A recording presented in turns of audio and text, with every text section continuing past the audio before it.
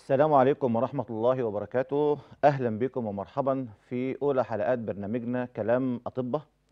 آه اللهم اجعل ما تعلمناه وما سوف نتعلمه خالصا لوجهك الكريم. اللهم اكتب لنا به رضاك ورضاء عبادك عنا برضائك عنا يا رب العالمين. آه أحب بداية أهني كل المصريين بأعياد رأس السنة وأخص بالذكر إخواتنا المسيحيين كل سنة وحضراتكم طيبين. وإن شاء الله تكون كل أيام مصر أعياد علينا وعلى كل المصريين أجمعين بإذن الله. أنا أخوكم الدكتور محمود رفعت آه، خبير التغذية العلاجية والسمنة والنحافة وتنسيق القوام آه، ورئيس مجلس إدارة مجموعة نهانا الطبية. حابب إن أنا النهاردة أكون ضيف خفيف عليكم في أولى حلقات برنامجنا كلام أطباء علشان نسلط الضوء على أهم القضايا اللي بتخص مسألة التغذية وطبيعة الوجبة ومشاكلها وما يتعلق بها من أمراض ممكن يكون كتير من المصريين بيشتكوا منها. اولا إحنا حابين إن إحنا النهارده نقول إحنا جايين ليه؟ إحنا جايين اولا علشان خاطر أو اولا لازم نقول الحقيقة لأن في آه، نوع من أنواع ال- الترويج الإعلامي لمسميات والمفاهيم والمصطلحات ممكن جدا جدا ما يكونش لها أي سند علمي ولا أي مرجعية ولا أي داعم ممكن نقول إن الكلام ده ولو بنسبة 60% صحيح. فإحنا حابين النهارده إن إحنا نتكلم أو نخاطب ال- ال- ال- المواطن أو المريض البسيط. بلغته هو بلغة المريض البسيط عشان نفهم إحنا هنقول إيه بدون أي نوع من أنواع التزييف ولا الازدواجية ولا إن إحنا نفقد المصداقية علشان خاطر بنروج لشيء أو بندعم شيء أو بنقف ورا شيء. فخلينا اولا نبدأ ونقول بسم الله الرحمن الرحيم يعني إيه كلمة دايت؟ يعني إيه دكتور دايت؟ كل الناس عندها خلفية إن كلمة دكتور ال diet معناها الدكتور المعني بالسمنة والنحافة فقط لا غير. بالرغم إن إحنا لو رجعنا حتى لو سألت ابنك اللي موجود عندك في البيت أو بنتك أو أي دارس من الدارسين من أول المراحل ال preparatory لحد المرحلة الثانوية قبل حتى ما يدخل الجامعة وتقول له يعني إيه كلمة diet يقول لك يعني وجبه يا بابا. فدكتور ال diet معناه دكتور المعني بنظام الوجبة. يعني إيه؟ يعني الدكتور اللي ببساطة شديدة جدا جدا بيجدول لك بينظم لك نظام أكلك في اليوم المفروض تاكل إيه والمفروض ما تاكلش إيه وتاكله إزاي وكمياته إيه وتوقيته إيه علشان خاطر تعيش أفضل حياة ويكون تكون الحياة دي خالية من أي نوع من أنواع الظواهر المرضية أو المشاكل الصحية. باختصار إحنا جايين النهارده علشان خاطر نحط لك ابجديه أو نحط لك آلية تقلل جدا من زيارتك ليا أنا كطبيب أو لدكتور الصيدلي في الصيدلية. كلما كان اللي إحنا هنقوله النهارده حضرتك بدأت تستوعبه كويس جدا إن شاء الله هيبقى زياراتك أو احتياجاتك للطبيب أو الاستشاره أو لأي شكوى مرضية هي أقل ما يمكن. طيب نبدأ نقول آه، هنبتدي في المراحل العمرية الخاصة بالمرضى بداية من عمر الطفولة لحد عمر ال- ال- ال- الكبار والبالغين. يعني إيه كلمة سمنة بالنسبة لعمر الطفولة؟ عشان نحدد سمنة لازم نقول يعني إيه وزن مثالي. معظم الأمهات اللي ممكن تجي لنا في سواء بتجي لنا في العيادات أو في المراكز الطبية المتخصصة أو حتى بتخش على الدكتور الصيدلي في الصيدلية لأن أنا طبعا حابب إن أنا يعني أأكد جدا جدا إن لما بيكون في دكتور صيدلي محترف في الصيدليه دارس على أعلى مستوى وبيطبق وبي- وبيحدث نفسه باستمرار ممكن جدا جدا جدا يكون كفاءته لا تقل بأي صورة من الصور عن الطبيب المحترف داخل المركز الطبي. عشان كده أنا بصل يعني بألقي التحية لكل زملائنا الصيادلة وكل زملائنا الأطباء على حد سواء وبدعوهم إنك أنت حدث معلوماتك باستمرار. حاول إنك أنت تتابع المراجع العلمية الجديدة. حاول تخش على المواقع المحترمة الموثوق فيها. حاول إنك أنت لو قدرت تحضر ندوات أو مؤتمرات عشان تعرف إيه الجديد عشان تقدر تقد- تقدم الخدمة الطبية في أفضل صورة وفي أعلى مستوياتها خالية من الأخطاء. فإحنا عايزين نقول الأول يعني إيه بالنسبة للأطفال وحديث الولادة يعني إيه كلمة سمنه يعني إيه أم داخلة عليا في مكاني وبتقول لي يا دكتور والله أنا ابني ده حضرتك ممكن توزنه لي وتقول لي هل هو كده وزنه كويس ولا وزنه أخباره إيه؟ فاحنا لازم نحدد. عندنا أكتر من صورة بنحسم بيها الم- ال- المسألة دي. اولا الطفل بيتولد آه وزنه بيكون من 2.5 ل 3 كيلو ونص. ده متوسط الوزن بتاعه. يعني ممكن نقول متوسط وزن في حدود 3 كيلو. الأطفال اللي هم الأندر ويت أو اللي وزنهم أقل من كده وبيحتاجوا نوع من أنواع العناية الخاصة أو الحضانة ده موضوعهم مختلف. إحنا بنتكلم عن الأطفال اللي هيلسي اللي اتولدوا بصورة صحية اللي هو اتولد وزنه من 2.5 ل 3 كيلو ونص. الطفل ده المفروض بعد ما اتولد مسألة الزيادة في الوزن بيبقى أخبارها إيه؟ بمنتهى البساطة جدا بدل ما أدخلك في معادلات وتقعد تحسب وكلام من ده أول سنة من عمر الطفل بنقول إن الطفل آه، بنقسم السنة إلى ثلاث تلات كل تلت عبارة عن أربع شهور. الربع الأولاني متوسط الزيادة في وزن الطفل بتكون عبارة عن 3 أرباع كيلو جرام لكل شهر. 750 جرام كل شهر. ده معناه إن الطفل في نهاية الثلث الأولاني يعني في نهاية الأربع شهور بيكون زاد حوالي 3 كيلو جرام 3 كيلو جرام لما بنحطهم على المتوسط اللي هو 2.5 إلى 3.5 بنتكلم في متوسط من 6 إلى 6 كيلو ونص. ده بالنسبة للطفل اللي هو حديث الولادة في أول أربع شهور من عمره. طيب في تاني أربع شهور من عمره المفترض إن الطفل في تاني أربع شهور بيكون معدلات الزيادة متوسطها 500 جرام لكل شهر. بمعنى إن الطفل عندنا في تاني أربع شهور لو ضربنا ال 500 جرام في أربع شهور بنتكلم في 2 كيلو جرام زيادة في المتوسط. ده معناها إيه؟ إن إحنا انتهينا في المتوسط الأولاني من 6 إلى 6 ونص. ده معناه إن الطفل عندنا في نهاية الثمان شهور بيكون الوزن بتاعه من 8 إلى 8 كيلو ونص. طبيعي جدا بالنسبة بقى للأمهات اللي قاعدة وبتتابعني دلوقتي وتالنت أو مركزة انها هتقول الدكتور بدأ ب 750 جرام وفي ال middle أو في المرحلة الوسطية بقى 500 جرام الطبيعي إن إحنا هننصص أو هننزل للربع الأخير أو الثلث الأخير هيبقى عندنا أقل برضه بمعدلات نفس التخفيض اللي هو 250 جرام بنقلهم يعني في آخر أربع شهور من السنة بيكون معدل الزيادة في وزن الطفل عبارة عن 250 جرام كل شهر. ده معناه إن الطفل ده في نهاية السنة بيكون زاد عندي في الأربع شهور الاخيره ربع كيلو في الشهر يعني أرب يعني أربع تربع في الأربع شهور يعني بنتكلم في كيلو يعني بنتكلم إن هو زيادة في المتوسط عن ال 8 ل 8 ونص كيلو كمان بنتكلم من 9 ل 9 ونص.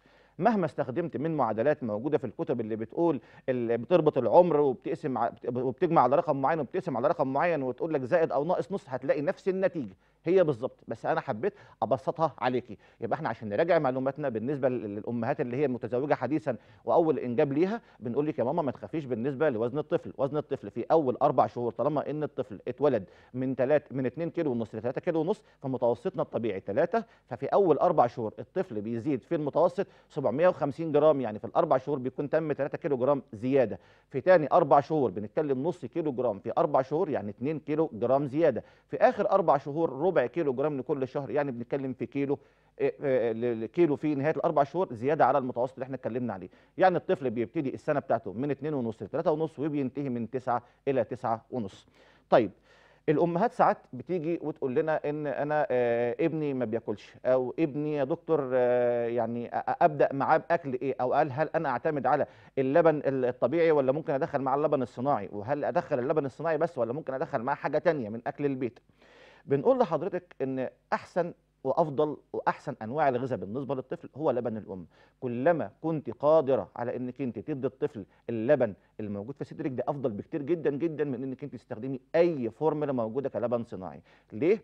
لأن ربنا خالق اللبن لبن الأم ده بأقل كمية مشاكل ممكنة وأعلى معدلات فوائد مطروحة بالنسبة لنا. دي رقم واحد. رقم اتنين ده حليب متاح بالنسبة لحضرتك ببلاش. يعني انت انتش مضطرة انك انت تدفعي مبالغ مبالغ فيها خصوصا لارتفاعات أسعار الحليب حاليا. يعني حضرتك لو لاحظتي معانا إن اللبن بتاعنا أسعار اللبن بتبدأ النهارده من 55 و65 جنيه وطبعا دي أسعار بالنسبة للشركات الطارحة للبن أسعار غالية بالنسبة للي بيشتري اللبن أو بيتداوله خصوصا إن الطفل بيحتاج على الأقل بنتكلم كل من 3 4 أيام يعني بنتكلم من 6 ل 7 علب في الشهر. فبكل المقاييس انت بتوفري لو ركزتي بالنسبة انك انت تدي له اللبن بدل ما ياخد اللبن الصناعي. كمان في أخطاء بتحصل أثناء الولادة.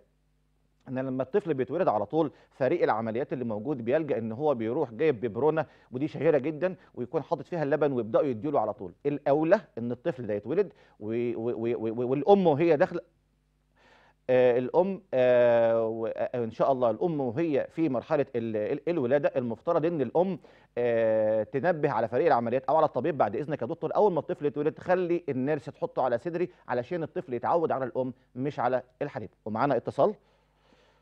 آه، ألو السلام عليكم. أيوه يا فندم مين معايا؟ حضرتك لو سمحتي وطي التلفزيون. آه ماشي يا فندم. آه معاك ياسمين من القاهرة. ألو؟ آه أيوه يا دكتور ازي حضرتك؟ أنا مش سامع حضرتك لقيت تعلي صوتك شوية. آه معاك ياسمين من القاهرة يا دكتور. ألو؟ آه أهلا بحضرتك يا فندم اتفضلي أنا مش سامعك بس حضرتك ممكن تعلي صوتك شوية عشان أفهم السؤال. ماشي معاك ياسمين من القاهرة. أهلا يا فندم اتفضلي يا استاذه ياسمين تحت أمرك. إزيك يا دكتور؟ إزيك يا فندم إزاي الصح آه حضرتك منور الشاشة يا دكتور. يا فندم منورة بيك وربنا يخليكي آه طب يا دكتور آه أنا طولي آه 166 ونص. طولك 166 ونص. أيوه تمام. آه ووزني 43 كيلو. 43 آه. ده إحنا عندنا نحافة شديدة. أيوه نحافه جدا وباكل كتير جدا ومفيش أي يعني وسيلة إن أنا أتخن أو كده. لا مين اللي قال يا استاذه ياسمين؟ حضرتك دلوقتي طرحت المشكلة. إحنا ما قلناش إن المشكلة ملهاش حل. أنا كان عندي لو تابعتني امبارح في الحلقة بتاعت امبارح كان عندنا كان عندي مريضة زي حضرتك كده كان اسمها مدام هالة. دي كان وزنها حوالي 46 وبقى لها ثلاث سنين نفسها تعدي 50 الحمد لله إحنا لما عدلنا ال lifestyle وبدأنا نحط نظام وجبة متوازن وأقل كمية أدوية ممكنة الحمد لله. يمكن لو هي موجودة النهارده معانا وسمعانا آه، تقول لك إن هي وزنها عدى 52 لحد دلوقتي في حوالي 10 أيام. بس الموضوع محتاج انك انت نعرف المشكلة فيها إيه. فلازم حضرتك لو تكرمتي ممكن حضرتك يا تتابعينا من خلال الأرقام بتاعتي الموجودة على الشاشة أو سيادتك بتسيب رقمك للكنترول وبتتابعي معايا. على أساس إن أنا بحدد لك ميعاد وبنشوف المشكلة فين وبنبدا نحط إيدينا على الحلول لأن مفيش حاجة ملهاش حل. لكن إن أنت حضرتك 43 و166 أنت وزنك المفروض المفروض وزنك من 65 ل 70 فإحنا النهارده بنتكلم في عجز في الوزن حوالي 20 كيلو. فده يعني إحنا لازم يعني نبدأ نتحرك على طول عشان حتى اللي قدامك يحس إن يعني إن الأمور طبيعية. فأنا مدام ياسمين قطعت معانا إن شاء الله تتابعنا من خلال أرقامنا وتلاقي الإجابة اللي ترضيها بإذن الله إن شاء الله. آه، نكمل موضوعنا. كنا بنتكلم بالنسبة للأمهات اللي بتولد الطفل وبتلاقي إن الفريق العمليات بيروح مدي للأم على طول. الببرونه أو بيدي للطفل الببرونه على طول على أساس إن هو يرضع أول ما ينزل في الببرونه الصناعية. طبعا دي خطأ كارثي جدا جدا وبيترتب عليه تكلفة باهظة بالنسبة للأم والطفل بعد كده. فالطبيعي إن الأمهات أستأذنك لما حضرتك عارفة ميعاد الولادة بتاعك بعد إذنك بتطلبي من من أخصائي النساء أو بتطلبي من فريق العمليات إن هو أول ما الطفل يتولد يتحط على صدر الأم علشان خاطر يتعود على صدر الأم وبالتالي يبقى اللبن ال- الطبيعي هو ده الخيار الأول بالنسبة له ما يبدأش يدور على أي بدايل أخرى. دي رقم واحد. رقم اتنين تخفيفا للعبء عن حضرتك وعن الأب. إحنا أنا أنا أب قبل ما أكون دكتور وعارف إن ال ال ال ال الآباء بيتكوا حرفيا بسبب أسعار اللبن دي. فإحنا أنا بقول لك أنا النهارده أهو أنا بقول لك أهوت أنا أنا في القطاع الصيدلي وفي القطاع الطبي بقول لسعادتك انت أولى بأي جنيه ممكن توفريه لابنك أو لبنتك. فأول ما الطفل يتولد بعد إذنك تنبهوا على فريق العمليات إن هو يحط الطفل ده على صدر الأم علشان يكون اللبن الطبيعي هو الخيار الاستراتيجي الأول اللي يدور عليه الطفل بعد كده بإذن الله. ده رقم واحد. طيب حضرتك ال- الأمهات اللي تيجي تقول والله يا دكتور أنا ابني بياكل وأنا حاسة إنه يعني ما بيزيدش حضرتك مسألة الزيادة أو النمو دي ليها يعني ليها أبجديات ليها أساسيات. مش مش لأن حضرتك مش شايفاه بياكل كويس أو مش شايفاه بيزيد في الوزن ده معناه إن عنده مشكلة. لكن ال- الطفل لو جه مثلا تم السنة ولقينا إن الوزن الطبيعي بتاعه المفروض مثلا يكون 9 كيلو ونص ولقينا مثلا لسه عند 6 ونص أو عند 7 هنا ممكن نفكر في مشكلة ممكن نعمل له تحليل أنيميا ممكن نشوف طريقة التغذية اللي الأم بتدخلها لها عن طريق البيت أو عن طريق ال- اللبن متوازن ولا لأ. طيب العكس لو حصل معانا هل لو الطفل ده لقينا وزنه زيادة ودي بتجي لنا كتير ممكن الطفل يكون الوزن الطبيعي بتاعه في مرحلة عمرية ما 6 كيلو ونص أو 7 كيلو وأنا الاقيه جاي لي 9 كيلو هل الوضع كده بالنسبة لنا ده كويس جدا؟ طبعا لا. طب إيه الحل بالنسبة لموضوع إن الوزن زاد؟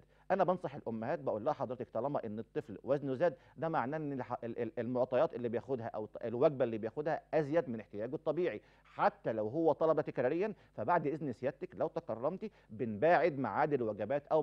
بنباعد توقيت الرضعات بدل ما بياخد الرضعه كل ساعتين ممكن نخليها كل ثلاثة ممكن نخليها كل أربعة. ونفس النتيجة هيوصل لها الطفل. برضه هيحصل لمرحلة الإشباع وهيبقى كويس جدا وهنخفض عنه المشاكل الخاصة بزيادة الوزن في العمر الأول ده لأن الطفل لما بيكون وزنه زايد في العمر الأولاني ممكن بيحصل له مشاكل يعني زي النهجان زي عدم القدرة على النفس زي إن ال- ال- المود العام بيتغير حتى بتلاقي مجهوده أقل. إحنا مش محتاجين الكلام ده خالص. غير إن الطفل لما بيبتدي بمشكلة سمنه وهو صغير بيبقى علاجها معانا أصعب من لو كان واحد بالغ أو كبير.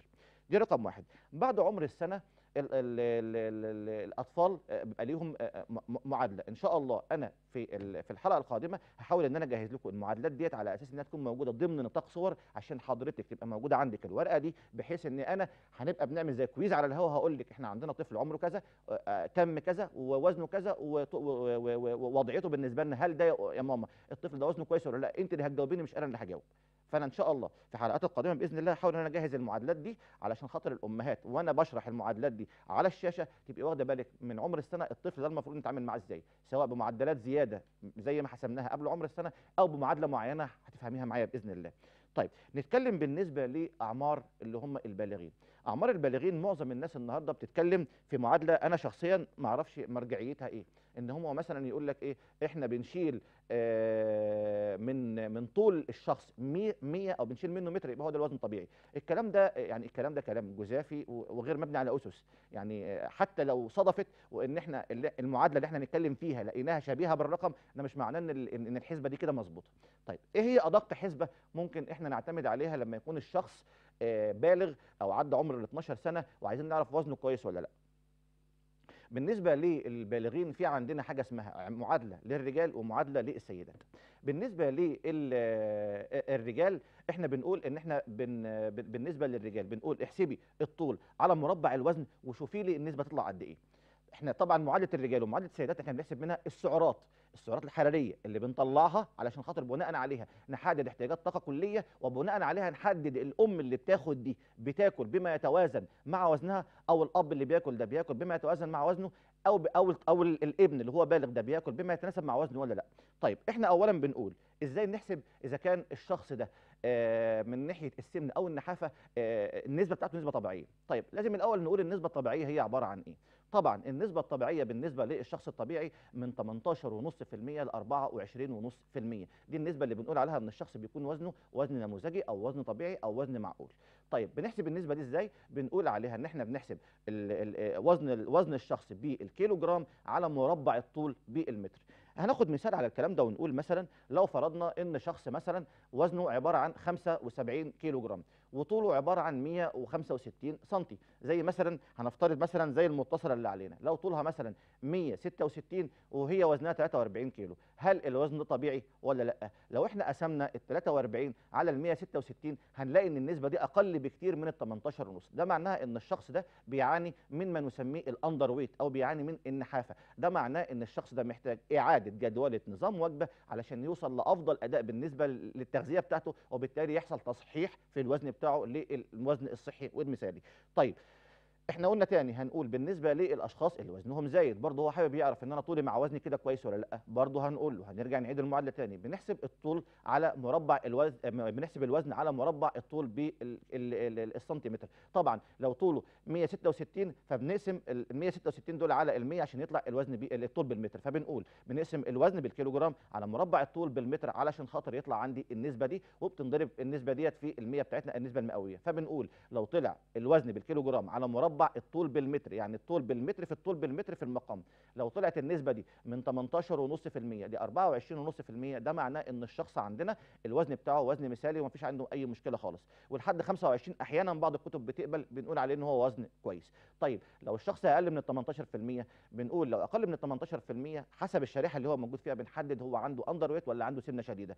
ولو أعلى من ال 18 من أعلى من ال 24.5% فبنقول من من 24.5 لحد ال 30 دي بنقول زيادة في الوزن من ال 30 لحد ال 34 9 من 10 بنقول دي مرحلة أولى في السمنة. من ال 34 ونص أو من ال 35 لل 40 دي مرحلة ثانية في السمنة. فوق ال 40 بنسميها اللي هي الموربد اوبستي أو السمنة القاتلة ودي اللي معظم الأطباء النهارده بيتكلموا فيها على قصة التكميم والتدبيس وتحويل المسار وده هنتكلم عنه لاحقا إن مش ده الحل الوحيد أكيد في الحالات دي. وإحنا عندنا حالات يمكن أنا اتكلمت امبارح عن حالة من ضمن الحالات اللي هي آه الأنسة لبنى ياسر كانت آه آه الوزن بتاعها كان 134 و20 سنة والحمد لله قدرنا في 65 يوم نوصل الوزن ل 104 ده ليه؟ لأن الشخص عنده عزيمة، الشخص عنده إصرار حتى في بعض الأحيان مع أخطاء في نظام الوجبة مع العك في الأكل بيرجع إن هو يقول ويعترف وده أهم ما يمكن في الموضوع إنك أنت ما تبقاش مخبي على الأخصائي أو المتابع بتاعك شيء عشان خاطر أنا يعني أنا مش جاي ضدك أنا مش التحريات اللي بياخد تحريات عنك لأ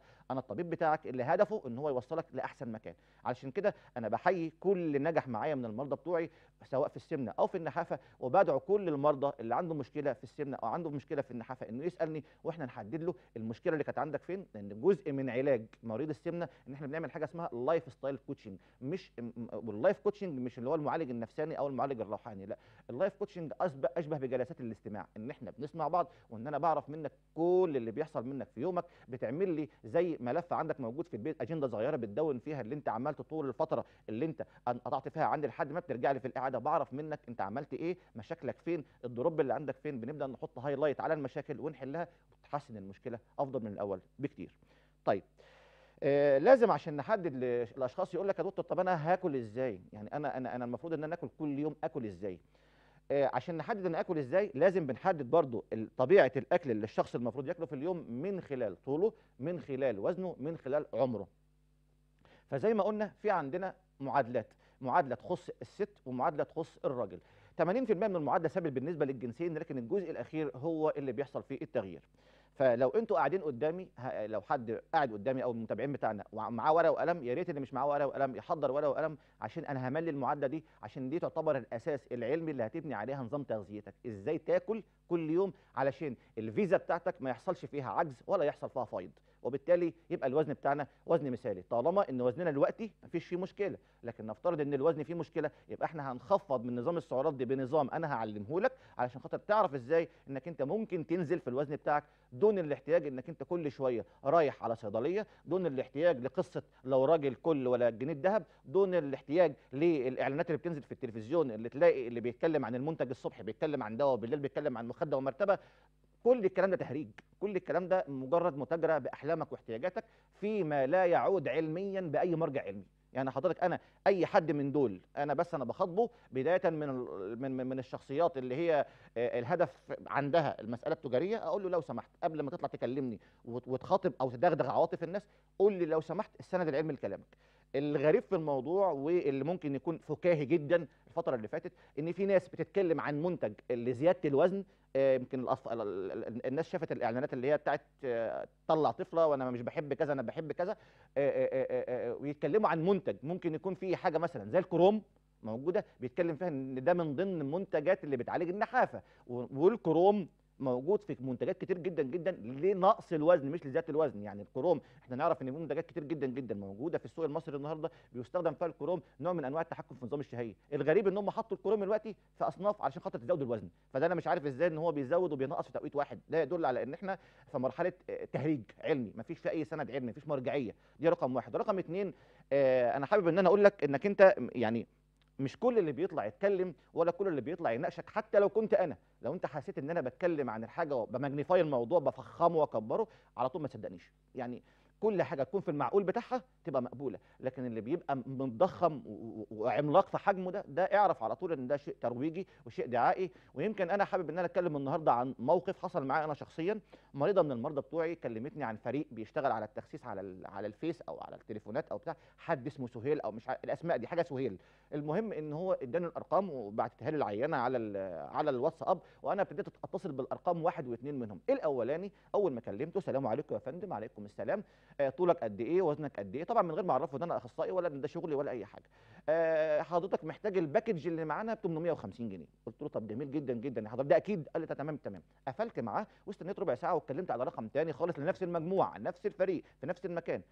اللي ردت عليا ردت عليا في الأول كانت تقريبا شايلة طفل واقفه في مطبخ وهي بترد عليا. التاني اللي رد عليا كان حد تقريبا بيتعشى برضه ماسك سندوتش وبرضه بيرد عليا. اديته نفس المعلومات قال لي حضرتك محتاج معانا ال 1250 قلت له يا عم أنا لسه سائل من شوية نفس نفس اللي عندكم وقال أنت محتاج ال 850 ال package ب 850 هو ناخد ب 850 ولا ب 1250 فقال لي لا أنت 1250 أفضل. قلت له ليه؟ فلقيت ما عندوش أي إجابة ممكن تكون مقنعة لعابر السبيل مش مش مش للي فاهم أو أو للطبيب. فأنا حبيت إن أنا آه، يعني أسرد ال- ال- المثال ده على اعتبار إن إن إن مش كل اللي بيطلع ويكلمك تصدقه. ده ليه؟ عشان خاطر الناس دي بتصرف كتير جدا في ممول بتصرف كتير جدا في ميديا عشان يرجع لها مردود. طالما ان ان ان ان ان, إن, في حاجة بتتضخم أو حاجة بتلاقيها كل يوم على التلفزيون بنفس الطريقة بنفس الإلحاح ده معناه إنه عنده مشكلة في مبيعاته. فهو عاوز يوصلك رسالة أكبر من حجمها بمراحل عشان يدغدغ عواطفك ويلعب على احتياجاتك عشان ياخد فلوسك وفي النهاية أنت ما استفدتش حاجة.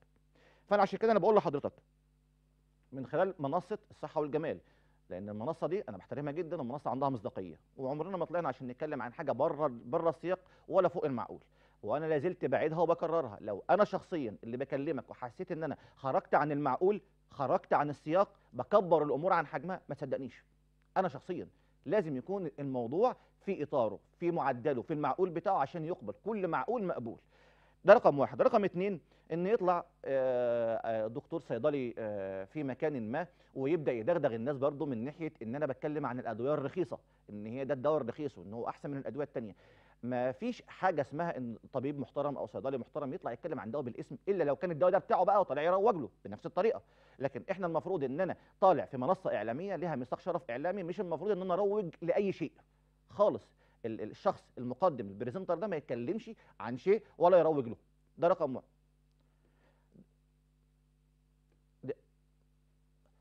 آه، معانا اتصال؟ لا طب خلاص قطع قطع تم- تمام.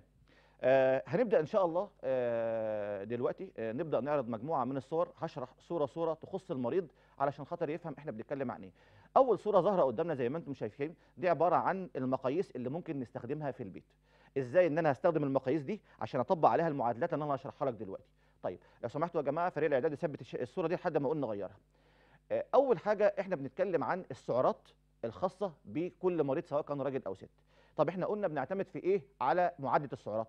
بنعتمد في معادلة السعرات على الطول وبنعتمد على الوزن وبنعتمد على العمر. فبنقول بالنسبة للراجل والست الجزء الأولاني ثابت. آخر جزء في المعادله هيتغير. فأنت بعد إذن حضرتك ورقة وقلم واكتبي الجزء الأولاني. عبارة عن إيه؟ بنقول الوزن في 10 الوزن بالكيلو جرام في 10 زائد الطول بالسنتيمتر مش بالمتر. كنا بنكتب كنا بنحسبه بالمتر في معادلة الوزن المثالي. كنا بنقول الوزن بالكيلو جرام على مربع الطول بالمتر في المقام. هنا إحنا في معادله السعرات عشان نحسب الراجل ده احتياجاته قد إيه في اليوم لا هنحسب الطول بالسنتيمتر. فهنقول الوزن بالكيلو جرام مضروب في 10 ده بين قوسين. زائد الطول بالسنتيمتر مضروب في 6 وربع ده بين قوسين. نطرح منهم بقى العمر مضروب في 5 بالسنين يبقى هنقول ده الجزء الثابت بالنسبة للمعدتين. هنقول الوزن مضروب في 10 بالكيلو جرام ده بين قوسين. زائد الطول بالسنتيمتر مضروب في 6 وربع ده بين قوسين. ناقص العمر مضروب في 5 ده برضه بين قوسين. المجموع ده خليه ثابت بالنسبة للاثنين لو راجل هنقول زائد 5 في النهاية لو ست هنقول ناقص 161 ده رقم واحد. المعادلة دي بتحسب حاجة اسمها احتياجات الطاقة الأساسية. احتياجات الطاقة الأساسية يعني إيه؟ يعني دي أقل كمية طاقة ممكنة بيحت- بيحتاجها الشخص بالسعرات علشان خاطر يفضل يؤدي ال- الأنشطة الأساسية بالنسبة لجسمه يعني شخص لا يتحرك إلا أقل القليل اللي هو قاعد على ال- ال- ال- ال- الانتريه بتاعه أو قاعد على سريره ومجرد إن هو فاتح موبايل أو بيقرأ شيء ما اتحركش من مكانه بنسميه الريزيدنت اللي هو ال- ال- ال- المقيم الثابت اللي ما بيتحركش. فأقل كمية سعرات ممكنة هي من خلال المعادلة دي. المعادلة دي إحنا لسه هنضيف عليها بند علشان خاطر نحدد كل شخص هتبقى سعراته إزاي. فبنقول احتياجات الطاقة الأساسية اللي لا يختلف عليها جميع الأشخاص سواء كانت ست أو كانت راجل بنقول الوزن بالكيلو جرام في 10 زائد الطول بالسنتيمتر في 6 وربع ناقص العمر في 5 بالسنين دول الجزء الأساسي. لو هنحسبها بالنسبة لست هنقول إن الست آه، بنطرح منها بنطرح من المجموع ده 161 لو بالنسبة للراجل بنضيف عليه 5 طيب هل المعادلة عند كده انتهت؟ لا طبعا. بنحت... إحنا بنحسب احتياجات الطاقة الأساسية دلوقتي. إحنا عايزين نحسب احتياجات الطاقة اليومية اللي هي الكلية اللي هو الشخص يفضل وزنه على ما هو عليه لا يزيد ولا يقل. فبنعمل إيه؟ العلماء قسموا الأشخاص لحوالي ست أو سبع تقسيمات. فبنقول اولا الشخص اللي هو حركته بسيطة جدا اللي هو بيتحرك في محيط البيت زي كبار السن زي الست اللي مش غاوية خروج زي الراجل اللي هو بقى على المعاش وقاعد. بنقول بن... بنضرب لا فن... لا لا خليه خليه بعد إذنك. أنا عايز يا جماعة خلوا خلي الصورة زي لسه ما خلصتش خلوها لسه ما اشتغلناش عليها. بعد إذنكم. طيب آه هنقول بالنسبة للأشخاص اللي هم متحركين جوه البيت بس أو يجيب حركته من من من الأوضة للحمام للصالة بس ده بنسميه آه الشخص اللي هو ال resident أو بيسموه ال sedentary ما بيتحركش خالص. ده بنضرب المعادلة اللي خرجت دي في معامل اسمه معامل النشاط البدني ال physical activity coefficient أو ال physical activity level فبنقول بنضرب فيه 1.2 من 10 1.2 فبتخرج المعادلة أو مخرج المعادلة اللي إحنا حسبناها قبل كده وبنضرب في 1.2 من 10 عشان نحسبها لسعرات الراجل ده. طب لو الراجل ده بيتحرك على إن هو يقدر ينزل ويجيب حاجته من السوبر ماركت ويرجع مثلا مشوار واحد في اليوم. ده بنضربه في 1.3 من 10 طب لو بقى ال- ال- الشريحة اللي هي معظم المصريين اللي هي بتنزل تودي أطفال في مدرسة وترجع أو بتنزل تجيب احتياجاتها من السوق وترجع أو بتعمل شغل بيتها وتنزل تجيب من السوق وترجع اللي هو المتوسط بتاع كل الناس اللي هو medium mediumly active اللي هو الشخص الايه نشاطه متوسط ده بنضربه في 1.5 أو في واحد ونص. طيب لو الشخص ده شخص بقى نشيط اللي هو معظم الموظفين اللي بيتحركوا يروحوا شغلهم والأمهات اللي بتشتغل وبتودي أولادها وبتجيب شغلها والكلام ده كله دول بنضربهم في 1.7 من 10 الأشخاص الرياضيين بقى اللي هم نشاطهم عالي جدا جدا جدا دول بنضربهم في 1.9 من 10 طيب نرجع ونراجع معلومة السعرات اللي إحنا بنحدد بيها الفيزا اليومية للطعام. أنا هاكل قد إيه؟ طيب فبنقول المعادلة اللي إحنا حسبناها بالنسبة للراجل والست لو كان الشخص ده ما بيتحركش إلا الحركة اللي جوه البيت 1.2 من عشرة. بيتحرك على قد مشوار واحد 1.3 من عشرة. بيتحرك زي معظم المصريات والمصريين يجيبوا أدواتهم ويودوا ولادهم في واحد في واحد ونص. لو شخص بي- بيشتغل وبي- وبيودي ولاده وبيعمل مجهود يعني أكتف ده بنضرب في واحد وسبعة من عشرة. لو شخص رياضي بيعمل كل الكلام ده وفوق النشاط البدني أو الرياضي أو الجيم ده بنضرب في واحد وتسعة من عشرة عشان نحسب سعراته. طيب بنقول عندنا كمان هل آه، في آه، الناس بتسألني سؤال دايما بيبقى سؤال غريب جدا جدا. يعني طبعا قبل ما ما نقلب الصفحة دي أنا بنقول ال- ال- الصفحة دي بتح- بتحدد لنا إحنا إزاي بنع- بنعاير أو بنوزن الأكلات الموجودة عندنا. بتلاقي عندك المعلقة الصغيرة في كتب قالت 3 ونص وفي كتب قالت 5 وفي ناس بتنزل معلقة معينة لو تلاحظوها في الأدوية في العلب العلبة المعلقة مكتوب عليها 5 سم في عندك المعلقة الكبيرة اللي بيسموها معلقة الأكل بتلاقيها برضو في ناس قالت عليها إن هي 10 في ناس قالت 7 ونص في ناس قالت 15 ده على حسب كل رؤية كل كتاب. فحضرتك حاول إنك أنت تصور الصفحة دي عشان الصفحة دي عليها المعايير بالجرام. بدل ما أنت محتاج إنك أنت تبقى عندك ميزان في البيت توزن عليه المع... المعلقة دي بتعير لك كل حاجة بالجرام. لأن إحنا بعد ما هنحول سعرات ممكن جدا نحول السعرات دي لجرامات أقول لك من كل شيء جرامه قد إيه أو نعايرها عبارة عن fractionات أو أجزاء من الوجبة. يعني بدل ما هنقول مثلا كام جرام فراخ هنقول ربع فرخة. كام جرام رز هنقول كام معلقة رز وهكذا. فأنا أستأذن حضراتكم بعد إذنكم تصوروا الورقة ديت عشان خاطر نبدأ نشتغل بناء عليها إزاي هنعاير ونوزن الوجبة بتاعتنا. ده رقم واحد. رقم اتنين آه في آه ناس بتسألنا سؤال يمكن شايع بتقول لنا يا دكتور آه، طب أنا ما باكلش دهون أو ما باكلش حاجات مسبكة أو أنا أكلي يعتبر كله dry ومع ذلك أنا عندي على طول منسوب الدهون عالي أو عندي السكر عالي أو الكوليسترول عالي أو عندي الضغط عالي لسبب غير معلوم. يعني ده طبعا يعني يعني عقيدة غريبة جدا عند الناس أو مش عارف مين اللي وصل لكم عقيدة إن ال ال ال ال الدهون أو الكوليسترول أو الزيادة في الوزن جاية بس من الحاجات المسبكة أو المدهننة أو الحاجات المسكرة. خليني أصحح لك ال- المفهوم ده. كل ما هو وزن زيادة سواء كان دهون عضلية أو دهون حشوية أو كوليسترول في دم ده كان في الأصل سكر. عشان نعرف الحكاية دي حصلت إزاي اللي بيخشوا ويقولوا لي إن إحنا يا دكتور معدلات الحرق عندنا ضعيفة أو إحنا ما بنحرقش. مفيش حد في العالم ما بيحرقش لأن الحرق يعني الهضم. طالما إنك أنت بتهضم وطالما إنك أنت جسمك بيزيد ده معناه إنك أنت جسمك شغال بكفاءة في مسألة الحرق اللي هي الهضم. لكن الفكرة هو بعد مسألة الهضم أو الحرق دي توزيع المهضوم أو أو أو الغذاء أو المغذية اللي دخلت الجسم دي توزيعه إزاي؟ هل توزيعه بصورة منتظمة ولا توزيعه بصورة غير منتظمة؟ ده اللي إحنا بنعمل spotlight عليه وبنحدد المشكلة فين. فبنقول عشان نفهم مصدر الدهون جاي منين لازم أقول لك السكر ده من ساعة ما بيخش الجسم بيتحول لإيه؟ مراحله المختلفة. فإحنا في عجالة هقول لك.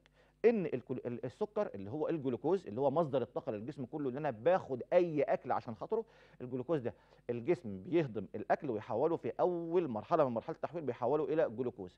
يستخدمه في الأنشطة اليومية يستخدمه في السعرات اللي إحنا قلنا عليها يستخدمه في, في, ممارسة الحياة يستخدمه في, في التركيز يستخدمه في, في الإدراك يستخدمه في المذاكرة والتحصيل. طبعا لو ال- بالنسبة للطلبة والدارسين اللي كلهم بيمتحنوا الأيام دي وربنا يوفق الجميع بإذن الله إحنا طبعا عايزينهم يكونوا بصحة جيدة فإحنا بنقول لهم إن النظام التغذوي لما بيكون نظام متوازن بيحتوي على جميع المعادن اللي انت محتاج لها بيبقى عندك مصادر ال power اللي كويسة بتبقى المكنة شغالة كويس جدا بيبقى المخ fresh جدا جدا بيبقى تحصيلك أعلى ما يمكن. لو بدأت تحس إنك أنت بتنسى أو المعلومة القريبة بدأت تنساها أو محتاج إن حد يفكرك بيها أو محتاج بت- بت- بتحس إن الصورة اللي في مخك بقت فينت وأنت في الامتحان أو بتبقى ضبابية أو مش واضحة تأكد إنك أنت محتاج إنك أنت تعمل تظبيط لنظام الوجبة. فأنت محتاج إنك أنت يا تتابع مع أخصائي تغذية آه، يتابع لك المسألة ديت أو حضرتك عندك الأرقام ممكن تكلمني وأنا ما ما بر- ما بردش أي حد بالنسبة للاتصالات بإذن الله. دي رقم واحد. رقم اتنين السكر ده ال- ال- ال- السكر ده حضراتكم آه، بعد ما بيتحول لل power بتاعتنا أو آه، آه، بعد ما بيتحول لل- لل- للجلايكوجين بتاعنا يعني السكر عندنا أول ما بيتاخد بيتحول لمصدر الطاقة الوحيد أو للمصدر اللي إحنا بنستخدمه في الأنشطة اليومية. طب الجسم خد احتياجاته من الأنشطة اليومية أو من ال- ال- ال- ال- ال power اللي هو محتاجها. بعد كده إيه اللي بيحصل؟ بيبدأ الفايض عن احتياجات الجلوكوز ده يتحول لما يسمى بحاجة اسمها الجلايكوجين. الجلايكوجين ده عبارة عن الخزنة اللي موجودة عندنا اللي بناء عليها آه، بيبدأ الجسم لما يحتاج آه، لما الجسم يبدأ يحتاج آه، مصدر من مصادر الطاقة آه، بيبدأ إن هو يفك من الخزنة المقفولة دي عندنا آه، علشان خاطر يبدأ لما آه، ال- الشخص ده في توقيت الصيام الشديد أو توقيت المجهود العالي أو التوقيت اللي فيه إلا في التغذية أو في مصادر التغذية بيبدأ يستخدم من الخزينة دي. يبقى المرحلة الأولى عندنا مرحلة إن السكر بتاعنا آه، بيبدأ الشخص يستخدمه عشان يمارس بيه مص... آه، آه، الاحتياجات اليومية أو ال activity العادية أو أقل كمية مجهود ممكنة آه، بالنسبة لاحتياجاته من السعرات الحرارية. خلص احتياجاته من السعرات بيبدأ إن هو يفيض أو يخزن السكر ده في صورة اللي هي الجامد بتاعه لو اعتبرنا إن في سكر فكة وفي سكر جامد فالسكر الجامد ده عبارة عن الجليكوجين بيتحط في خزنة جوه الجسم لحين الاحتياج ليها. طيب الخزنة دي بقت مليانة فعليا نتيجة لإن الوجبة كانت كانت وجبة مليانة أو وجبة عالية السعرات. وهنشرح بعد كده يعني إيه عالية السعرات ومن إنها مش شرط تكون سكريات ومش شرط تكون وجبة دسمة أو يعني فيها دهون لأ ممكن جدا جدا تكون حاجات تانية. غايبة عننا قيمتها السعرية عالية جدا جدا وتعمل الفيض وتعمل الوزن الزيادة. فبنقول المرحلة الثانية مرحلة إن أنا بجمد السكر الفكه لسكر جامد حاجة اسمها الجليكوجين دي في الخزنة اللي عندي في الجسم. طب الخزنة دي خلاص اتملت لأن الوجبة دسمة فبيبدأ يعمل إيه؟ الفايض بعد خطوة الجليكوجين بيروح يعمل حاجة اسمها الدهون اللي هي بتكسي جميع الأعضاء الموجودة عندي. طب إيه فايدة الدهون دي؟ الدهون دي الدهون الكسر العضلات دي في المعقول بتاعها الدهون دي بت- بتكسي الطبقة ال- ال- الخاصة بجميع الأعضاء عشان حضرتك في توقيت البرد بتحصل بالدفء فيها ولو في توقيت الحر وحصلت حادثة أو حصل صدمة أو حصل أي نوع من أنواع المشاكل بتبقى هي عبارة عن الطبقة الدعامية الحامية لينا. طيب لو فرضنا إن منطقة الدهون دي خلاص كست العضلات وبقى في فيض الفيض ده بيظهر على شكل الجسم في العضلات بتلاقي شكل العضلات بقى زايد over وفي نفس الوقت الفيض عن ده لو فاض عن منطقة كسوة العضلات حتى بعد الزيادة في الكتلة العضلية بنلاحظ إن هو بيتحول لكوليسترول في الدم يبدأ يعمل لنا مشاكل عند مرضى الضغط وعند مرضى السكر. هنشرح إزاي بقى الكوليسترول ده يمثل بالنسبة لنا مشكلة؟ نطلع فاصل ونرجع لكم تاني بإذن الله. ورجعنا لكم مرة تانية. أهلا وسهلا بكم مرة تانية أعزائي المشاهدين. كنا بنتكلم عن إن مشكلة الكوليسترول مش دايما مصدرها الأكل الدسم أو الأكل اللي دهونه زيادة. لا الكوليسترول مصدره في البداية السكر فكل ما هو عالي السعرات بالنسبة للسكر هيبقى مصدر للكوليسترول. حتة الكيكة ممكن تكون مصدر للكوليسترول. الشوكولاتة ال Galaxy اللي ممكن يكون سعراتها عالية جدا مصدر للكوليسترول. ال- ال- الرز ممكن يكون مصدر للكوليسترول في الأكل بتاعه الزيادة. المكرونة ممكن يكون مصدر للكوليسترول. طبق المحشي وهو رخيص وب 8 جنيه ممكن كل الناس طبق المحشي اللي عندهم مشكلة في النحافة ممكن يستخدمه عشان يزيد. أهو ده برضه مصدر للكوليسترول لو اتاخد زيادة عن اللزوم أو الشخص وزنه أصلا زيادة. فإحنا بنحب نقول إن الكوليسترول ده مصدره في البداية كان سكر. وبناء عليه بنقول هنرجع ونقول إن تظبيط نظام الوجبة تظبيط النظام التغذوي هو أحسن lifestyle ممكن تعتمد عليه ويظهر لك بنتيجة فاعلة جدا جدا في حياتك. تحس إنك أنت أخف تحس إنك أنت light تحس إنك أنت تقدر تمارس أنشطتك بدون أي معوق من أي نوع.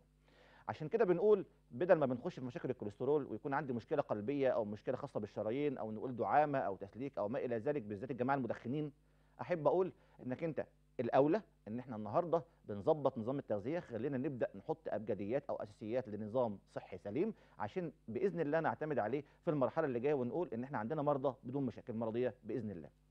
هنبدأ نعرض دلوقتي آه، شوية صور عليكم يهمنا جدا جدا إن إحنا نسلط عليها الضوء لحد إن شاء الله ما نيجي بعد كده في حلقات قادمة وهنبدأ نعمل فوكس على كل جزئية تخص الصورة دي. بس أنا النهارده هديك خطوط عامة علشان خاطر تعرف إحنا بعد كده هنبني على إيه وهنتكلم عن إيه بإذن الله.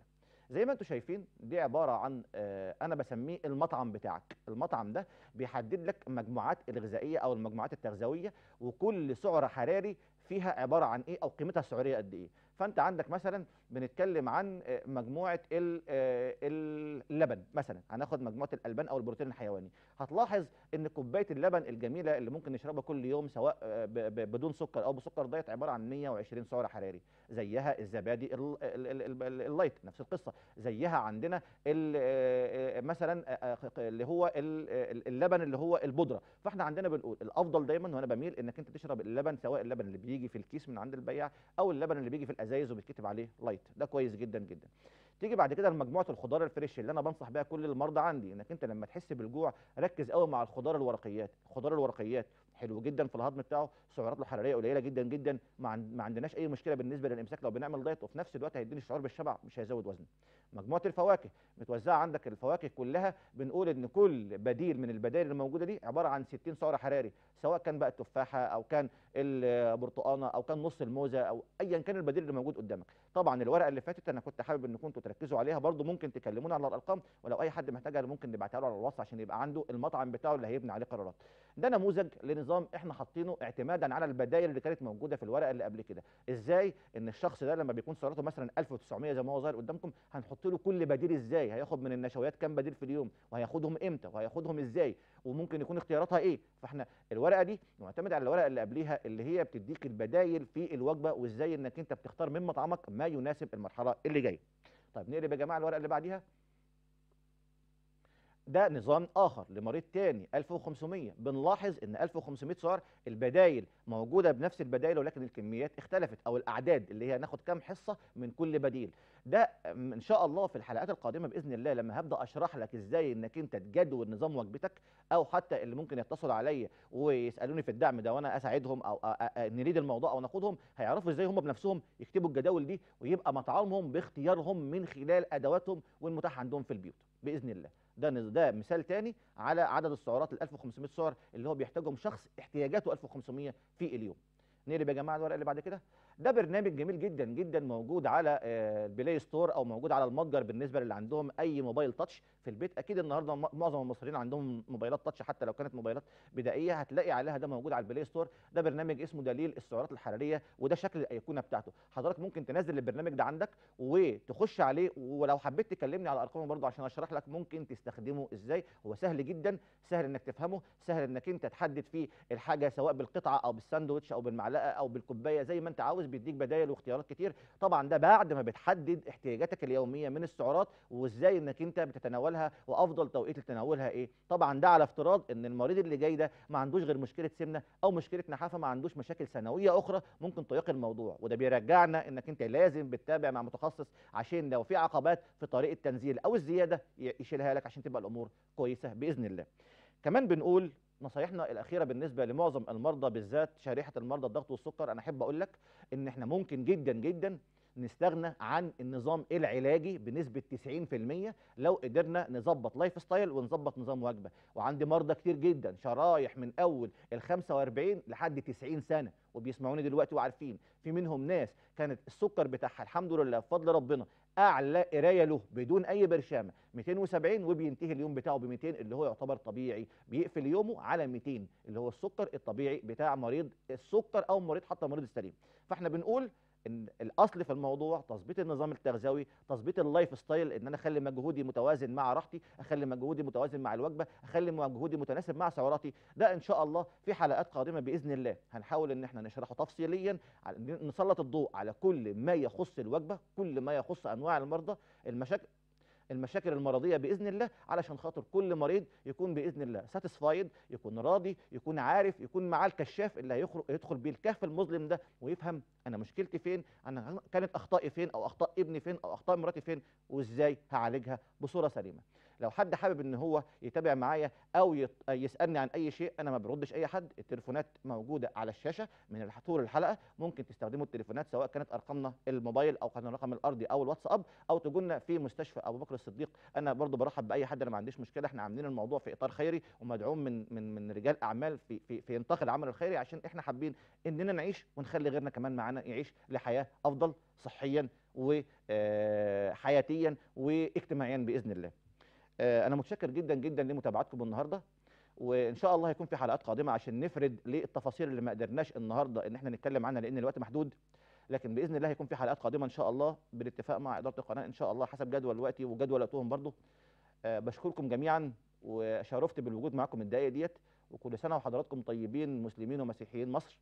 وإن شاء الله مصرنا تكون كل يوم عليها أعد... إن شاء الله يكون كل يوم في مصر أعياد ونجاح وتقدم وازدهار ومن الأمام للأمام بإذن الله طول ما قلبنا على قلب بعض وإيدينا في ايدين بعض. كان معكم الدكتور محمود رفعت خبير التغذية العلاجية والسمنه والنحافة وتنسيق القوام ورئيس مجلس إدارة مجموعة الهنا الطبية. وشكرا جميعا لكم السلام عليكم ورحمة الله وبركاته.